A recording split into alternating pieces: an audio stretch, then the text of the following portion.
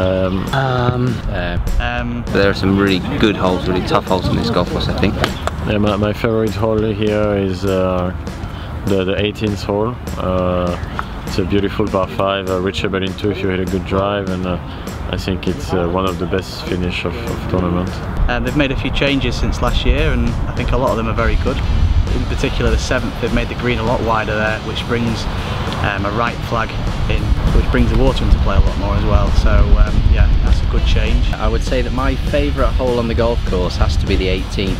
Um, you know, as most courses here, it's a great amphitheatre. I think the new tee makes the hole play a lot fairer, uh, and it means that the the slightly shorter hitters out here can still have a go at the green in two.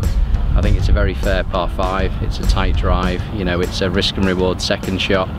Uh, but it's just a great finishing hole, so that's why it's my favourite hole. But there's just a lot of good holes. I mean, 18 is a fun hole in the sense that it's quite a narrow drive. And uh, the second shot in with the grandstand up the left, a long thin green, eagle opportunity. But you know as well that if you miss that green in the wrong spot on the left side with the rough stick, or you don't quite get your drive away, um, you might not be guaranteed a birdie or, or even better. So 18 is a fun hole to finish on. So for that reason, I would say 18. And uh, but the overall course is great.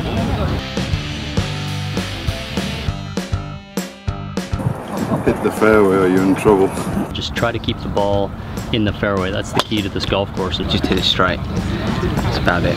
If you go in the rough here, you're not getting it very far. I would say drive the ball straight. You know, the rough is always up here and it's no different this year at all.